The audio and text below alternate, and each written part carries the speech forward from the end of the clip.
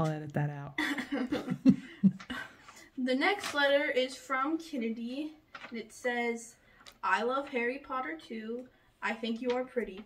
I think you can be the best book writer. I like to read. Do you like chocolate chip cookie dough ice cream? I do. You know what? I do like chocolate chip cookie dough ice cream. Thank you for writing me, Kennedy.